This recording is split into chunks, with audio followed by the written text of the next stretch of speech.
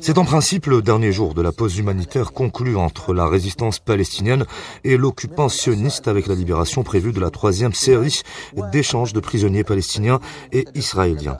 On dit toutefois qu'il y a un espoir de la prolonger de deux jours, voire même plus, pour libérer un grand nombre de prisonniers. La résistance palestinienne a déjà fait savoir qu'elle était prête à prolonger cette trêve. L'occupation sioniste accepte aussi à condition qu'il y ait chaque jour la libération de dix prisonniers. Des propositions sont faites dans ce cadre de négociations, mais rien n'est encore officiel, même si les déclarations des partis qataris et américaines vont dans ce sens de la reconduction de la trêve. La partie palestinienne négocie un cessez-le-feu, mais pas seulement.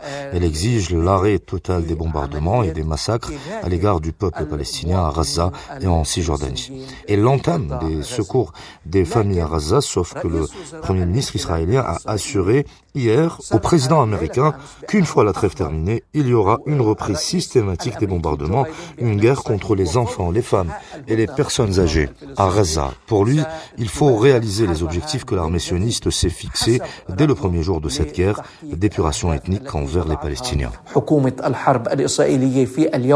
الأول من هذه الحرب التي تشكل إبادة جماعية بحق أبناء الشعب الفلسطيني.